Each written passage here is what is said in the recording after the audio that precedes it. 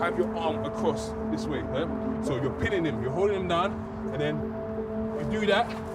Now look how far he is, which means now I've pushed him over there, I can now turn or have it back and create space. So it's about to... I started Hackney FC back in 2015. That was after I spent eight years in prison for gang-related offences through being involved with the Peckham Boys. When I was released from prison, I was homeless.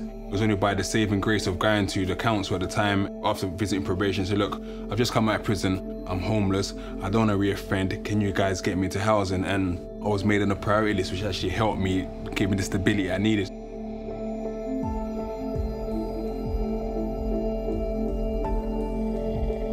At the same time, in reverse, my mum was living around the corner from here. They've been now in temporary accommodation for six years.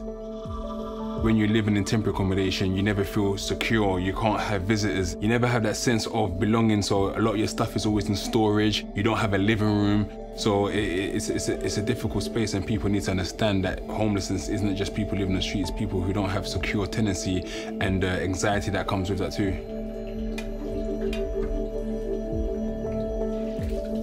Things like me coming over and helping her cook, it does give that sense of family, that sense of belonging, that sense of love, but ultimately we would want her to be in her own space that she can actually call home.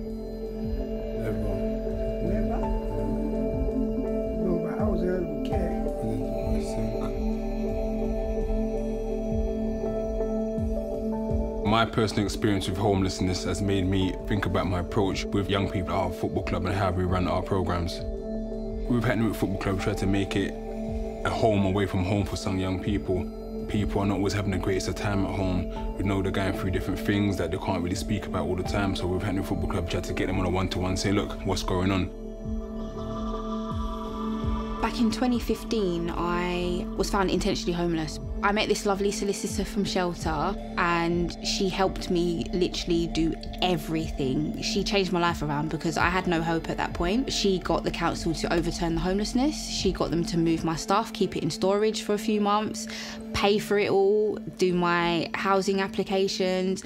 And right now I'm living in a really nice two bedroom apartment, which is permanent housing. And without her, I do not think I would have been able to just keep thriving and have that hope they even at one point, she gave me and my children Christmas presents. I was really appreciative of that. You don't see that come around regularly.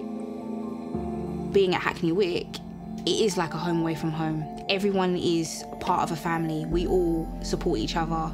My experience of homelessness meant that I could help others not go through what I've gone through